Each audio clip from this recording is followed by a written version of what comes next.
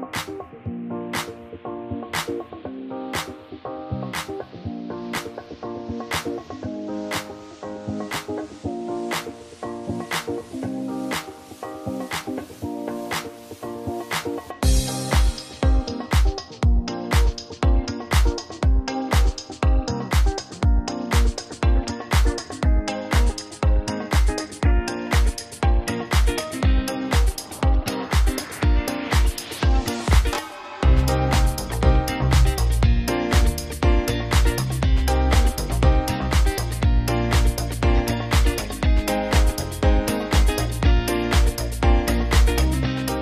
Welcome, welcome. I was very excited uh, to see her to come into our room and being a part of our expansion meeting. Seeing her, how she has been acting today, gives me the really big pleasure to uh, understand how confident uh, she was in her actions. Uh, she is a very, very strong girl with a very high qualities to the leadership roles.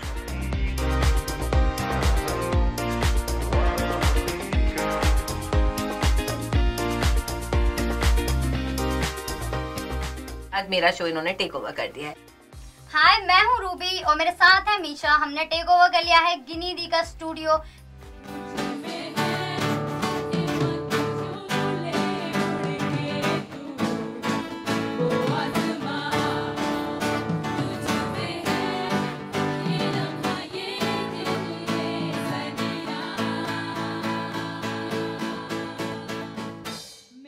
What is a progressive world? Without the girls at the forefront of change?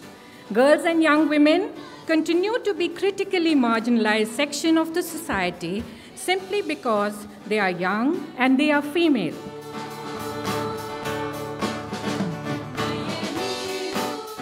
getting married at the age of 18 what is the age of 18 she can't complete her education even she can't go for a secondary education at the age of 18 and that is not the true development Gender equality is a matter of justice, it's a matter of fairness, it's a smart investment if we want a society which is more equitable, inclusive, and sustainable. We need to educate our girls about their rights. We need to educate our boys to respect women. And we need to educate ourselves uh, as adults as well and think about uh, what society is like today and the place of women in today's society.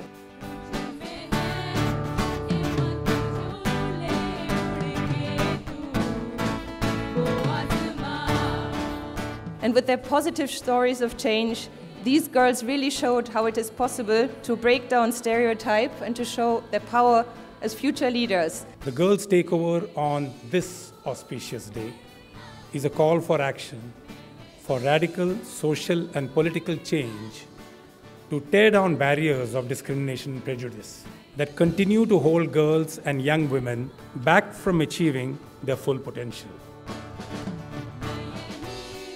I would also like to request all of you to be part of this movement. The road ahead is not easy, it's a difficult one, but together we can.